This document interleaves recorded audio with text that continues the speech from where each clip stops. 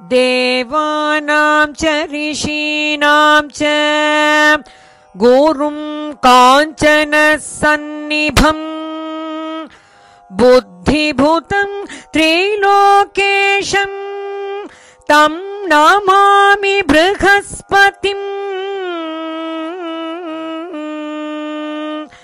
देवानां च ऋषीणां च गुरुं काञ्चन सन्निभम् बुद्धिभूतं त्रिलोकेशम् तं नमामि बृहस्पतिम्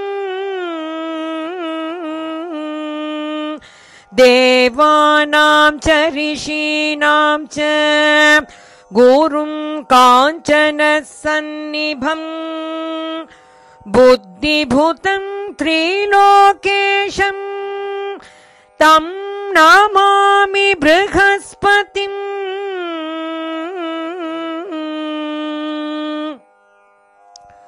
ॐ ऐं क्लीं हुं बृहस्पतये नमः ॐ ऐं क्लीं हुं बृहस्पतये नमः ॐ ऐं क्लीं हुं बृहस्पतये नमः Brihaspati or Jupiter is the guru of the gods, the spirit of the vast, which alludes to his ever expansive nature and his unending inspiration and optimism. As the guru of the gods, he teaches religion, philosophy, and morals of unity. Brihaspati or Guru is the preceptor of God made law and man made law. The gods seek counsel from him when forces of division usurp their domain. He is also a family man who bestows blessings of wealth to those who are loved by him. Of all the planets, Jupiter is considered to be the most benefic and gentle.